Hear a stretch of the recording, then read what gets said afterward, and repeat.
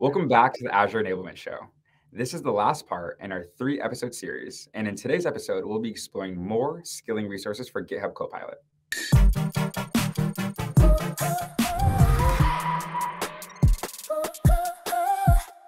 Hi, I'm Aaron, and in this episode, we'll be taking a deeper dive into GitHub Copilot learning resources. As always, if you have any questions or comments, be sure to leave them in the comment section below so we can get back to you. Smash that like button and make sure you subscribe to the Azure Enablement Show so you get notified of all of our latest episodes. Natalie, our AI skilling lead from Azure Marketing, she's back with us today so she can take us through these GitHub Copilot skilling resources. Yes, I am, Aaron. Thank you so much. I'm excited to be here and to talk about these different learning options we have for Copilot's integration with GitHub. Absolutely. It's always a pleasure. Thank you so much, Natalie. Before we dive into today's topic, for anyone that has not already seen episode one and two of this series, I'd recommend checking it out. It gives a lot of great resources and overview about Copilot, GitHub Copilot, and all of the related learning resources. You can find links to those episodes in the description below. Mm-hmm. Natalie, thank you again for joining us today. What do you have in store? Thank you, Aaron. Today, I'm going to be walking our viewers through a quick little demo of one of our most popular learning paths for GitHub Copilot. This learning path is called GitHub Copilot Fundamentals Understand the AI Pair Programmer. So let me pull this up here. As you can see, we've got our learning path here. We're going to be exploring the fundamentals of GitHub Copilot, how it can improve productivity, and how to implement it into your organization. With all this great content, you'll be able to get a deep understanding of the distinctions between GitHub Copilot for individuals, GitHub Copilot for business, and GitHub Copilot X. We're going to look at some GitHub Copilot for business use cases, including some real life examples, and you'll get some step by step instructions on enabling Copilot for individuals and for businesses. Incredible. Love this overview. Uh, feels like we're picking up right where we left off. Uh, yeah, so let's just dive into these learning paths. I agree. So this learning path is broken down into five modules. Let me show you what that looks like. We scroll down here. So we've got our introduction to GitHub Copilot right here at the start. Going through all these different modules, you're going to need a basic understanding of GitHub fundamentals. If you don't have that yet, we've got other learning paths that we can recommend as well to help you get that basic understanding before you jump in. Not a problem.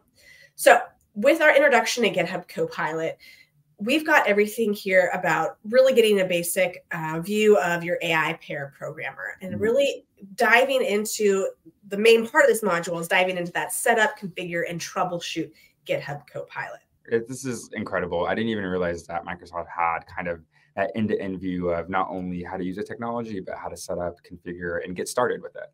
Um, and I know that we previously discussed prompting, but what about prompting for GitHub Copilot? Are there any skilling resources that are available for this after people have set up and configured their environment?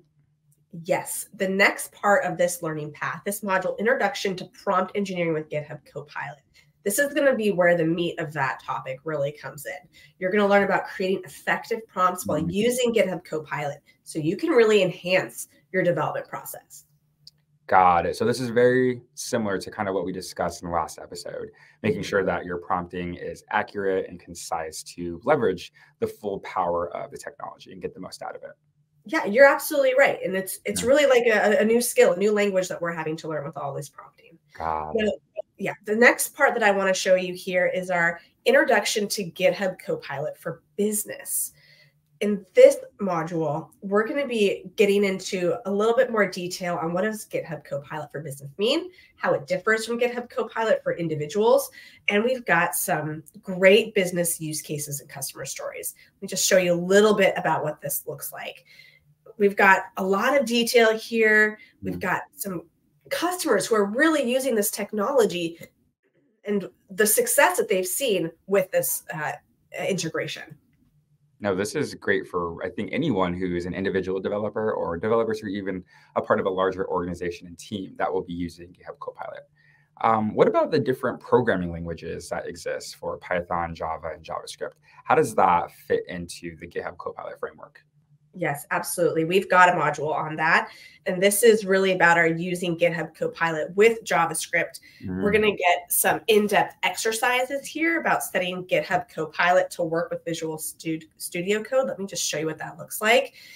You can actually set up that environment and go through this exercise using code spaces. We've got everything here to really get that experience. And we also have another module here on Python too. Let me pull that up here so I can show you. And it's the same thing. We've got a lot of exercises. We've got two exercises here and understanding how to use GitHub Copilot. Like the previous module on using Copilot with JavaScript, with mm-hmm. Python, mm-hmm. you're going to be learning about how this AI programmer helps you code with autocomplete style suggestions and helps you speed up more and improve your workflow. Wow, I didn't even realize that Microsoft had this level of depth out for some of their Copilot technologies and GitHub Copilot specifically. This learning path is incredible, and thank you for walking us through it today, Natalie. It's my pleasure, and I hope you don't mind that my my cat joined us for a few moments of that. But she's a big fan of, of GitHub too. No, I love that, and I feel like I learned something new with you every time we have a chance to chat. Um, so thank you again. And for our viewers, make sure you check out the description below so that you can find the links to today's learning path that Natalie walked us through and additional learning resources for GitHub Copilot. While you're there, be sure to hit that like button and subscribe to the Azure Enablement Show so you don't miss any of our future episodes. If there's any questions about today's topic, make sure to leave a comment in the section below so we can get back to you. And lastly, check out this link so that you can find any additional information that you might need to leverage the full power of Copilot with Microsoft.